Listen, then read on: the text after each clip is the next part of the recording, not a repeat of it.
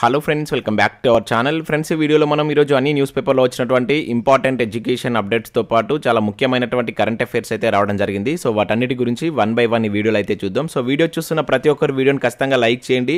Daily one to two hours work చేసి దాదాపుగా eight news paper చదివి మీకు ఇన్ఫర్మేషన్ అయితే అందించడం జరుగుతుంది. చాలామంది చూస్తున్నారు కానీ లైక్ చేయట్లేదు. ఖచ్చితంగా లైక్ చేయండి. సో వీడియోకి అయితే నేను థౌసండ్ లైక్స్ ఎక్స్పెక్ట్ చేస్తున్నాను. సో ఇది ఎవరికైతే యూజ్ ఉంటుందో వారికి షేర్ చేయండి. అదేవిధంగా సబ్స్క్రైబ్ చేసుకొని చూడండి. రెగ్యులర్గా మీకు జాబ్ అప్డేట్స్ అంతాయి మన ఛానల్కి సంబంధించినటువంటి టెలిగ్రామ్ గ్రూప్లో కూడా జాయిన్ కాండి. సో దాంట్లో కూడా రెగ్యులర్గా జాబ్ అప్డేట్ షేర్ చేస్తున్నాను. మీకు చాలా యూజ్ ఉంటుంది. ఫ్రెండ్స్ మన ఛానల్ ద్వారా గ్రూప్ ఫోర్ కావచ్చు గ్రూప్ టూకి సంబంధించినటువంటి ఫుల్ వీడియో కోర్స్ అయితే అందించడం జరుగుతుంది. కంప్లీట్ కోర్స్ మన యాప్లో అయితే ఉంది. సో ఇక్కడ గ్రూప్ ఫోర్కి సంబంధించి ఫైవ్ హండ్రెడ్ రూపీస్కే మీకు సిక్స్ మంత్స్ వ్యాలిటీతో అయితే పూర్తి కోర్స్ అందిస్తున్నాం. ఇంకా గ్రూప్ టూకి సంబంధించి ఫిఫ్టీన్ హండ్రెడ్ రూపీస్కి ఫోర్ పేపర్ సంబంధించిన కోర్స్ అయితే ఉంది. శాంపిల్ క్లాస్ అక్కడ ఉంటాయి. విన్న తర్వాత నచ్చితే కోర్స్ తీసుకోండి. ఇంకా దాంతో పాటుగా కరెంట్ అఫైర్స్ పీడిఎఫ్ కూడా పర్ మంత్కు ట్వంటీ రూపీస్ చొప్పున చెల్లించి మీరు పీడిఎఫ్స్ అయితే పొందవచ్చు. టెస్ట్ సిరీస్ ఉన్నాయి. ఇండియన్ పాలిటీకి సంబంధించిన టెస్ట్ సిరీస్ కావచ్చు తెలంగాణ చరిత్ర తెలంగాణ ఉద్యమ చరిత్ర అదేవిధంగా జనరల్ సైన్స్ సంబంధించిన టెస్ట్ సిరీస్ అయితే ఉన్నాయి. ఇవన్నీ మీకు చాప్టర్ వైజ్గా సో అప్లికేషన్ అండ్ డైరెక్ట్ మెథడ్లో క్వశ్చన్స్ అయితే ఉంటాయి. సో శాంపిల్ టెస్ట్ అక్కడ ఉంటాయి. చూసిన తర్వాత నచ్చితే తీసుకోండి. ఇంకా దాంతోపాటుగా జనరల్ స్టడీస్కి సంబంధించిన షార్ట్ హ్యాండ్ రైటింగ్ నోట్స్ కూడా ఉంటుంది. ఒకసారి అయితే చెక్ చేయండి.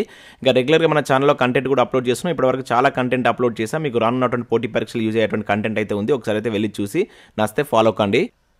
ఫ్రెండ్స్ ఈరోజు న్యూస్ పేపర్లో వచ్చినటువంటి అప్డేట్స్ కనుక చూసినట్లయితే మనకు ఫస్ట్ అప్డేట్ వచ్చేసి ఏకలవ్య స్కూళ్ళలో ముప్పై ఎనిమిది వేల ఉద్యోగాల భర్తీ అంటే ఇక్కడ ఒక అప్డేట్ మనం చూడవచ్చు. సో ఇన్ఫర్మేషన్ చూసినట్లయితే రాబోయేటువంటి మూడేళ్ళలో మూడు పాయింట్ ఐదు లక్షల మంది గిరిజన విద్యార్థులకు సేవలు అందించేందుకు వీలుగా దేశవ్యాప్తంగా ఉన్నటువంటి ఏడు వందల నలభై ఏకలవ్య మోడల్ రెసిడెన్షియల్ స్కూల్లో ముప్పై ఎనిమిది వేల మంది ఉపాధ్యాయులు కావచ్చు అదేవిధంగా సహాయక సిబ్బంది నియామకాలు చేపడతామని నిర్మలా సీతారామన్ ప్రకటించారంటే ఇక్కడ ఒక అప్డేట్ మనం చూడవచ్చు. సో నిన్న మనకు పార్లమెంట్లో బడ్జెట్ అయితే ప్రవేశపెట్టడం జరిగింది. సో ఆ సందర్భంగా మనకు ఆర్థిక శాఖ మంత్రి అయినటువంటి నిర్మలా సీతారామన్ గారు. సో రానున్నటువంటి మూడు సంవత్సరాలలో ఏకలవ్య మోడల్ స్కూళ్ళలో ముప్పై ఎనిమిది వేల ఉద్యోగాల భర్తీ చేపడతామని చెప్పేసి ఒక ప్రకటన చేసినట్లు ఇక్కడ ఒక అప్డేట్ మనం చూడవచ్చు.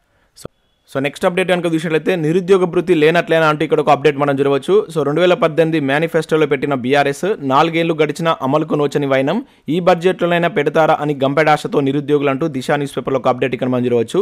నీళ్ళు నిధులు ఉద్యోగాలు అనే నినాదంతో తెలంగాణ రాష్ట్రం ఏర్పడింది. కానీ రాష్ట్రంలో మాత్రం ఉపాధి లేక నిరుద్యోగ యువత సంఖ్య పెరిగిపోతుంది. ముప్పై ఏళ్ళలోపు వారు రాష్ట్రంలో ముప్పై వేలకు పైగా ఉద్యోగం లేక సతమతమవుతున్నారంటే ఇక్కడ చూడవచ్చు. సో ప్రభుత్వం వివరాలు సేకరిస్తే మరింత పెరిగేటువంటి అవకాశం ఉంది. సో రాష్ట్ర ప్రభుత్వానికి ఇదే చివరి బడ్జెట్ కావడం అసెంబ్లీ ఎన్నికకు గడువు సమీపిస్తుండటంతో కేసీఆర్ ఈసారైనా కరుణిస్తారా లేకుంటే మొండి చేయి చూపుతారా అనేది హాట్ టాపిక్గా మారిందంటే ఇక్కడ ఒక అప్డేట్ చూడవచ్చు. మనకు రెండు వేల పద్దెనిమిది ఎన్నికల ఎన్నికల్లో భాగంగా సో ఆ ఎన్నికల మేనిఫెస్టోలో మనకు దీని అయితే ప్రకటించడం జరిగింది. ముప్పై ఏళ్ళ లోపు నిరుద్యోగులకు మూడు వేల పదహారు రూపాయల చొప్పున భృతి ఇస్తామని చెప్పేసి అయితే పేర్కొన్నారు. సో ఇప్పటివరకు దాని అయితే అమలు చేయలేదు. మరి ఈసారైనా బడ్జెట్లో ఈ నిరుద్యోగ భృతికి సంబంధించిన అంశాలను చేర్చుతారా లేదా అని చెప్పేసి హాట్ టాపిక్గా మారిందంటే ఇక్కడ ఒక అప్డేట్ చూడవచ్చు. సో నెక్స్ట్ అప్డేట్ కనుక చూసినట్టు మనకు సివిల్ సర్వీసెస్ ఎగ్జామినేషన్ రెండు వేల ఇరవై మూడు మూడుకు సంబంధించిన నోటిఫికేషన్ అయితే రిలీజ్ చేశారు. సో పదకొండు వందల ఐదు వేకెన్సీస్ తోటి మనకి నోటిఫికేషన్ అయితే రిలీజ్ కావడం జరిగింది. దీనిలో మనకు ఐఏఎస్ కావచ్చు ఐపీఎస్ అదేవిధంగా ఐఎఫ్ఎస్లతో పాటు పలు కేంద్ర విభాగాల్లో ఉన్నటువంటి గ్రూప్ ఏ గ్రూప్ బి పోస్టులకు సంబంధించినటువంటి పోస్టులు అయితే ఉంటాయి.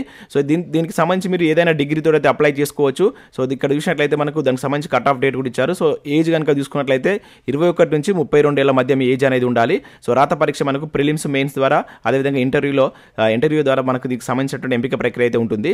సో వీటికి సంబంధించి ఆన్లైన్ దరఖాస్తు చివరి తేదీ కనుక చూసినట్లయితే ఫిబ్రవరి ట్వంటీ ఫస్ట్ అనేది లాస్ట్ డేట్ ఇవ్వడం జరిగింది. ప్రిలిమ్స్ తేదీ కూడా ఇచ్చారు ఇక్కడ మనకు. మే ట్వంటీ ఎయిత్న ప్రిలిమ్స్ ఎగ్జామ్ ఉంటుందని చెప్పేసి ఇక్కడ ఇవ్వడం జరిగింది. మనకు యూపీఎస్సీకి సంబంధించిన నోటిఫికేషన్ అయితే రిలీజ్ కావడం జరిగింది.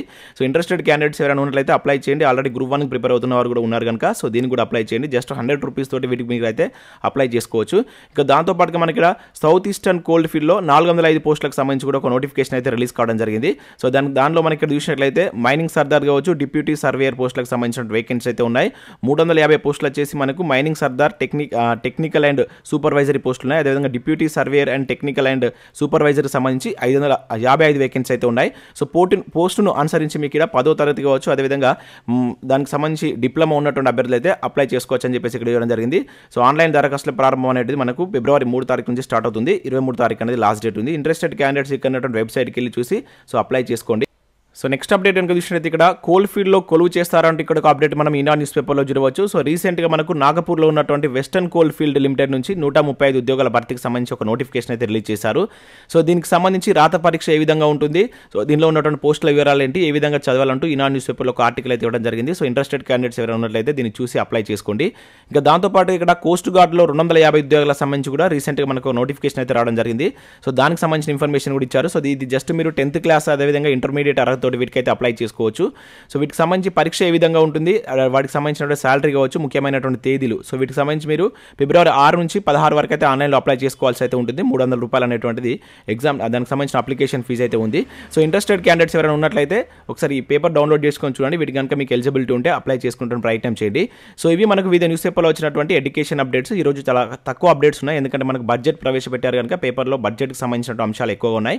సో వాటి గురించి అయితే చూద్దాం. నెక్స్ట్ సో వీడియో చూసిన ప్రతి ఒక్క ఒకరు ఖచ్చితంగా లైక్ చేయండి. మీకు ఎడ్యుకేషన్ అప్డేట్స్ అదేవిధంగా కరెంట్ అఫైర్స్ కలిపి ఒకే వీడియోలో అయితే అందించడం జరుగుతుంది. చాలామంది చూస్తున్నారు కానీ లైక్ చేయట్లేదు. ఖచ్చితంగా లైక్ చేయండి. సో ఒకసారి ఇన్ఫర్మేషన్ కనుక చూసినట్లయితే ఈ రోజు డేకి స్పెషాలిటీ ఏంటంటే మనకు ఫిబ్రవరి రెండున ప్రపంచ చిత్తడి నేలల పరిరక్షణ దినం అయితే జరుపుకోవడం జరుగుతుంది. చాలా ఇంపార్టెంట్ డే. సో మనకు రామ్సార్ కన్వెన్షన్ జరిగినటువంటి డే ఇదనమాట సో ఏ ఇయర్లో జరిగింది రామ్సార్ కన్వెన్షన్ అనేది కింద కామెంట్ చేయండి. అదేవిధంగా మన దేశంలో ఎన్ని మనకు ఈ రామ్సార్ వెబ్సైట్స్ ఉన్నాయి ఎన్ని ఇప్పటివరకు గుర్తించారనేటువంటిది. సో కింద కామెంట్ చేసేటువంటి ప్రయత్నం చేయండి. సో నెక్స్ట్ కరెంట్ అఫేర్ చూద్దాం. సో ఫస్ట్ కరెంట్ అఫేర్ కనుక చూసినట్టు మనకి ఇక్కడ సప్తపథం అంటూ మనకి ఈరోజు బడ్జెట్కి సంబంధించిన ఇన్ఫర్మేషన్ అయితే చూడవచ్చు. చాలా న్యూస్ పేపర్లో మనకు కంప్లీట్గా ఈ బడ్జెట్కి సంబంధించిన ఇన్ఫర్మేషన్ అయితే ఉంది. నేను బడ్జెట్ కావచ్చు అదేవిధంగా నిన్న రిలీజ్ అయినటువంటి ఆర్థిక సర్వేకి సంబంధించి మీకు ఇంపా ఇంపార్టెంట్ అంశాలు అంటే మనకు కాంపిటేటివ్ ఎగ్జామ్లో యూజ్ అయ్యేటువంటి అంశాలకు సంబంధించి బిట్స్ కావచ్చు అదేవిధంగా దానికి సంబంధించినటువంటి మ్యాటర్ మీద నేను ఒక వన్ ఆర్ టూ వీడియోస్ అయితే చేస్తాను. టూ త్రీ డేస్లో మీకు అవన్నీ అవన్నీ అందించేటువంటి ప్రయత్నం అయితే చేస్తాను.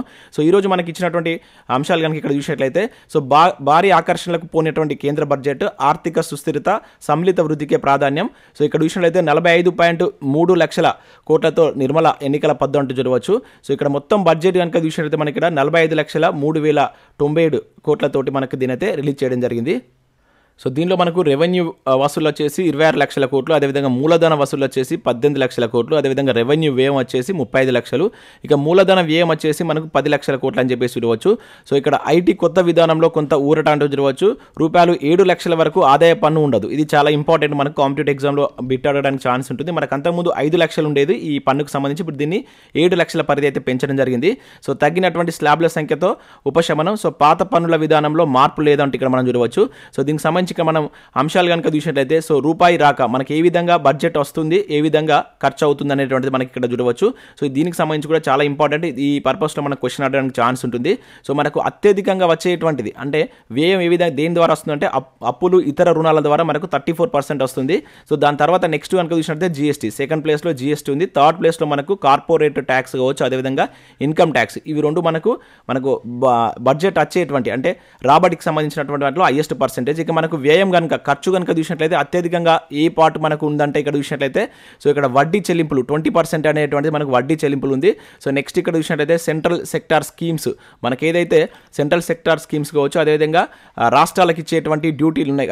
మనకి ఏదైతే పన్ను ఉంటుంది కదా సో ట్యాక్సీలు డ్యూటీల్లో రాష్ట్రాల యొక్క వాటా అనేది సెకండ్ ప్లేస్లో ఉంది. దాని తర్వాత సెంట్రల్ సెక్టార్ స్కీమ్స్ పదిహేడు పర్సెంట్ పదిహేడు పర్సెంట్ ఏదైతే ఉంది. సో వీటిని మనం గుర్తుంచుకోవాల్సి ఉంటుంది. అంటే ఎట్లా అత్యధిక వ్యయం దేని నుంచి వస్తుంది ఎట్లా ఖర్చు అవుతుంది అనేటువంటిది ఒక టాప్ త్రీ అన్న మనం గుర్తుంచుకోవాలి. సో ఇక్కడ అప్పులు ఇతర నుంచి మనకు వ్యయం ఎక్కువగా వస్తుంది. ఎక్కువ ఖర్చు అయ్యేది కనుక చూసినట్లయితే వడ్డీ చెల్లింపుల ద్వారా అయితే ఎక్కువ ఖర్చు అవుతుంది. సో ఈ రెండింటికి సంబంధించిన ఇమేజెస్ కూడా మీకు నేను మన టెలిగ్రామ్లో మీకు షేర్ చేస్తాను. ఒకసారి చూడండి. మన టెలిగ్రామ్లో జాయిన్ కాండి. ఎడ్జే ట్యూటోరియల్ అఫీషియల్ అని చెప్పేసి మీ టెలిగ్రామ్లో సెట్ చేసినట్లయితే మన గ్రూప్ వస్తుంది. అక్కడ జాయిన్ కాండి. లేదంటే కింద ఇచ్చినటువంటి గ్రూప్ ద్వారా కూడా మీరు జాయిన్ కావచ్చు. సో నెక్స్ట్ ఇంకా బడ్జెట్లో మన హైలైట్స్ కనుక చూసినట్లయితే నిర్మలమ్మ సప్తర్షి సూత్రావళి అంటే ఇక్కడ చూడవచ్చు.